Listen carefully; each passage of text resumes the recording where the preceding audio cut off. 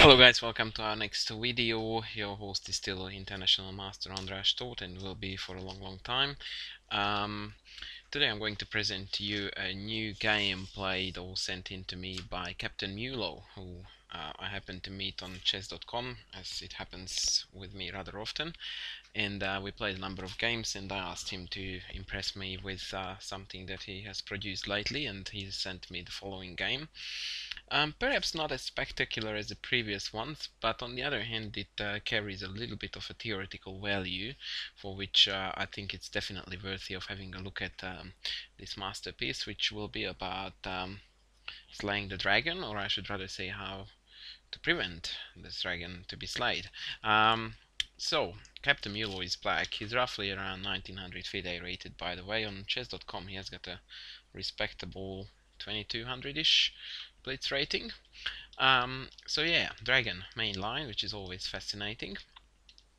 Um, it is a really, really exciting opening that I would recommend everyone to play uh, simply because of the uh, immense amount of tactical possibilities for both sides. Um, it is really a cool opening to play. Of course, you have to be rather tactically minded for playing it, but the mere fact that uh, even world champions uh, included in their repertoire, and in fact, world championship matches were themed around uh, the dragon is quite unbelievable or something that uh, we should we should take notice of. Remember, Karpov Korchnoi uh, was a massive fight about uh, the dragon, uh, and then Kasparov was all about the dragon, and uh, Magnus Carlsen plays the dragon on a regular basis and uh, has quite a respectable score with it. So yeah, the dragon has not been slain yet. And I don't think I'm going to spoil much if I say that it won't happen in this game either. Alright, so everything happens in accordance to theory. Um, I think that g4 is more accurate here, but um, it has been a couple of years since I properly spent time on my own opening repertoire, so there's every chance that I'm talking total nonsense. Um, knight c4, bishop takes, knight b3, queen a6. There are two more moves here that are considered to be theoretically fine, queen c7 and uh, queen e5 which seems a bit dodgy but it's also playable. And queen a6 is the third option. And here e5 in my opinion is actually a mistake despite of the fact that it's a very tempting move. Um, it is actually not the best. Best is bishop d4 almost against every uh, queen move because you want to neutralize this monster um, dragon bishop that uh, is looking at a king uh, down on the queen side and um, yeah it needs to be somehow neutralized. And bishop d4 later on can be followed up by uh, g4 and then uh, sorry oh, g4 and then h5 or sometimes knight d5 and then swapping off the f6 knight and the g7 bishop leaving the king entirely defenseless as far as pieces around it are concerned.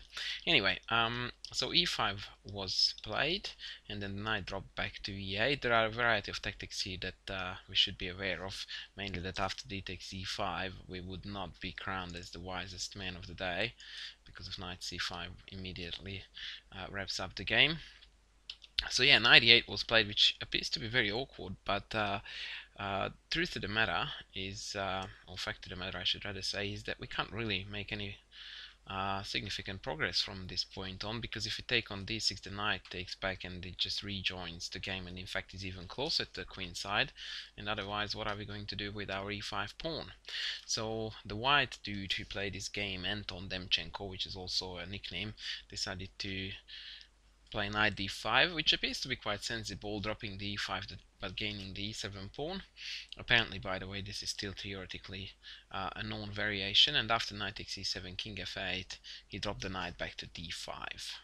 Now, it might feel that the king is a little bit uh, shaky now and feels a bit insecure, but again, uh, we haven't really made any progress. The fact that the e7 pawn is missing hardly makes this king side weaker, and after rook a c8, in fact now white is on the defense already and has to be very careful about what he does.